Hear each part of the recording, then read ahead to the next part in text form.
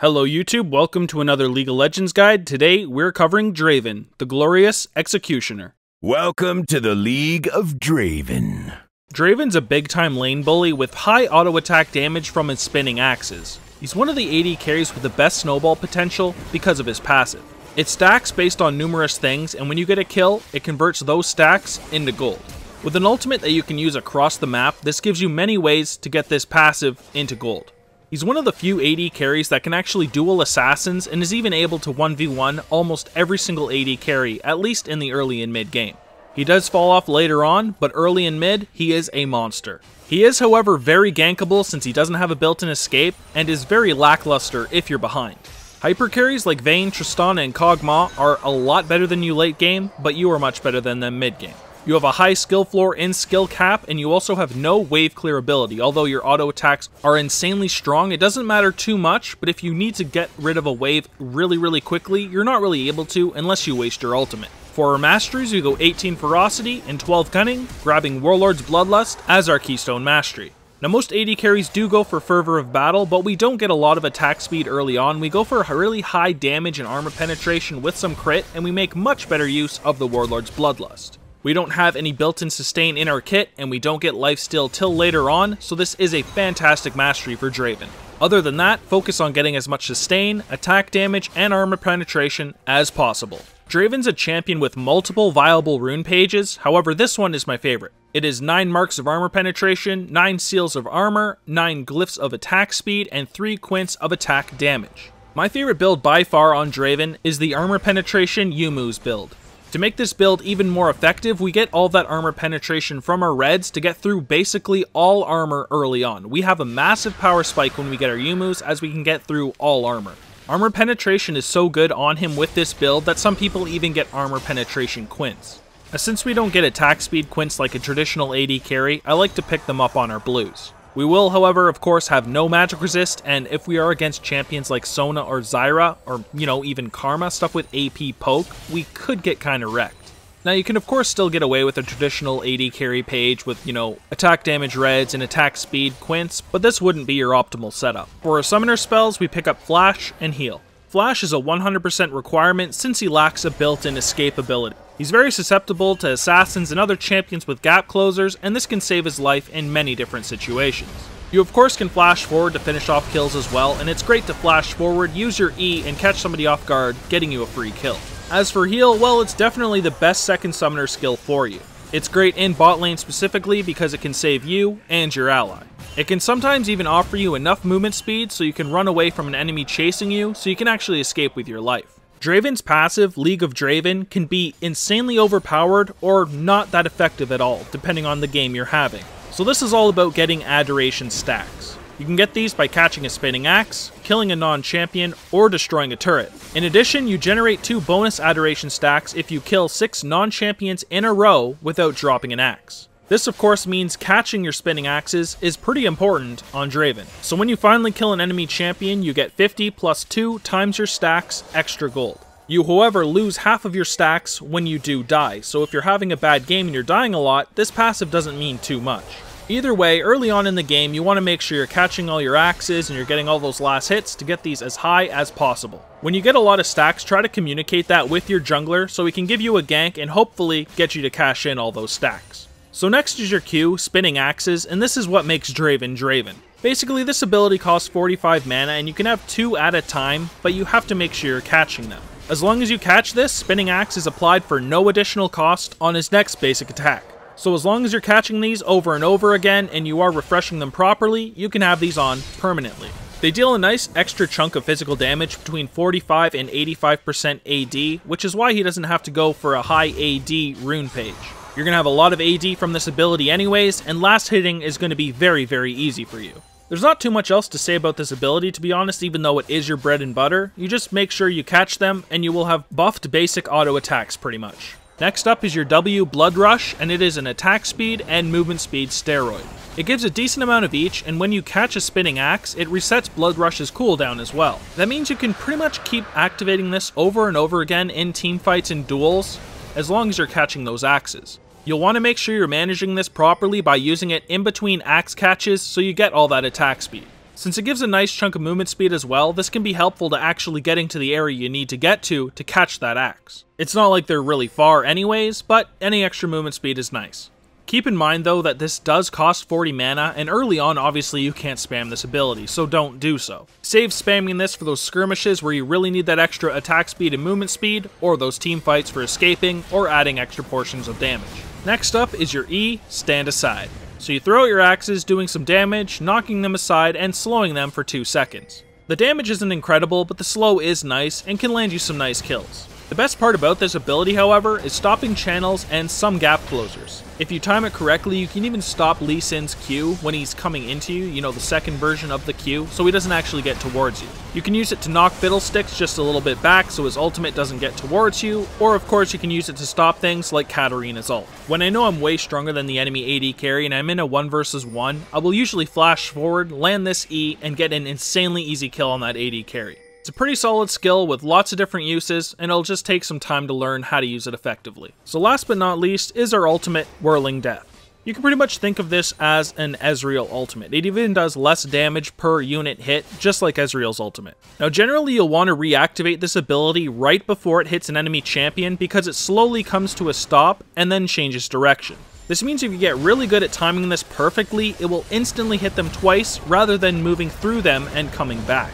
If you hit a single enemy champion twice, this will do a massive amount of damage considering it's a 110% bonus AD ratio. Whenever there's an enemy champion on the map really low, even if they're across the map, try to get this ability towards them and get a kill with it. It may be unlikely that this will hit, but if it does, and you do have a lot of adoration stacks, you can start snowballing like crazy, so take every chance you get. If you're in a team fight, make sure you try to sweep this through the back line, as it will do devastating damage and can take half of somebody's health if they're a squishy target. For our ability order, we of course take our ultimate whenever we can for that devastating damage it can do, even across the map. We then max our bread and butter ability, Q, Spinning Axe, for all of that nice basic auto attack damage it provides. It also gets your adoration stacks going if you're catching these axes, so it's a fantastic thing to max first.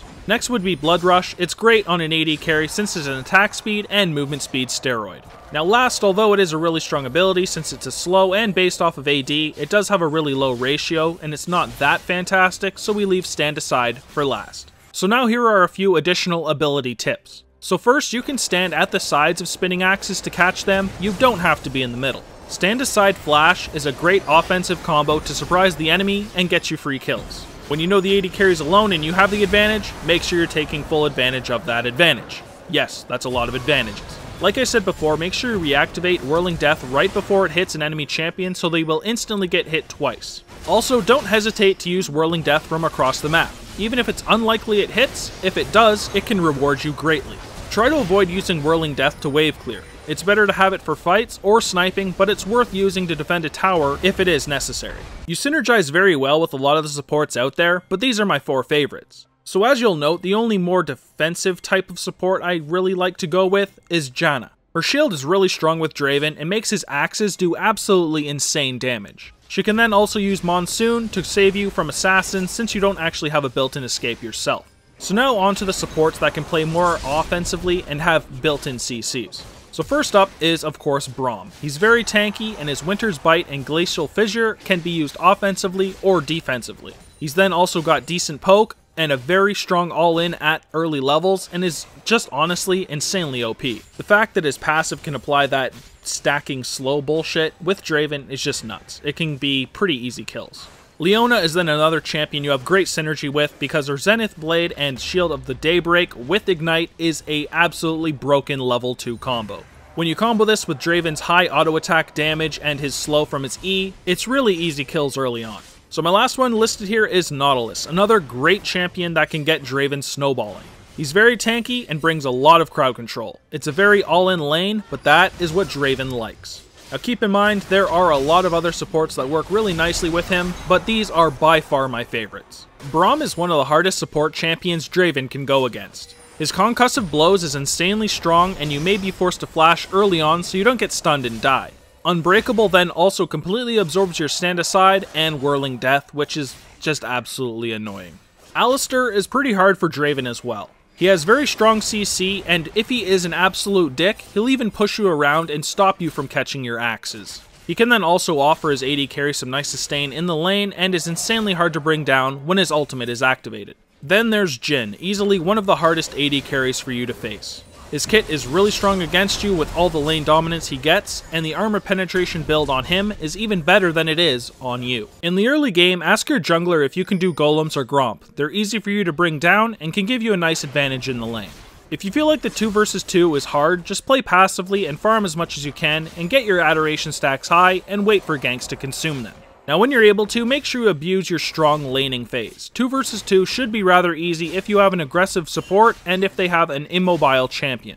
Stand aside is great for engaging with your support champion and to stop ganks. It can even be used to stop some gap closers like Lee Sin's Q, just make sure you time it right. In the mid game, you should have at least two core items and your spinning axes maxed, which will allow you to 1v1 pretty much any AD carry there is. If you've won your lane, try to destroy the enemy tower, then roam mid and help do the same. If you or your team is finding picks or winning team fights, make sure you follow up by taking objectives like Dragon, Baron, or Towers. You'll want to make sure you get a Farsight alteration once you're level 9 and you buy Vision Wards. You're really gankable, so don't get caught out. Vision Wards and whatnot will help with this. Last, make sure you use Whirling Death to go through the enemy's backline when teamfighting. This can do massive damage to their squishies and give you a really strong teamfight advantage. In the late game, you'll start to fall off a bit. Champions like Kog'Maw, Tristana, Vayne, and Jinx will all start to outscale you unless they've had completely awful games. All your damage is also physical, so if enemies are massing armor, your damage will fall off a lot now.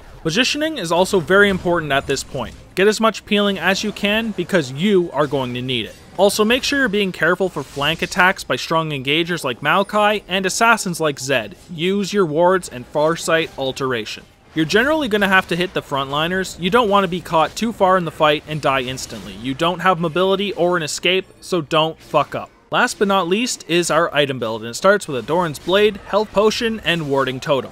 Now there are a lot of different core builds out there for Draven. There is my favorite, which is the Ghostblade Infinity Edge Phantom Dancer, but there's tons of other ones as well. You've got the more traditional Infinity Edge first into the Bloodthirster type one, you have one with the Duskblade for a very high armor penetration, or you even have the Trinity Force build. But anyways, the one I see the most often and I really like myself is the Youmuu's Ghostblade, Infinity Edge, Berserker Greaves, and Phantom Dancer build. For our offensive items, we of course have the two different armor penetration items. We either get the LDR for the more increased damage, or the one with grievous wounds. Then of course there's the Bloodthirster for the nice damage, shield, and lifesteal. Trinity Force is an item that works pretty good on him as well, but it is not my favorite and I very very rarely grab it. But it is worth noting as it's not a horrible item.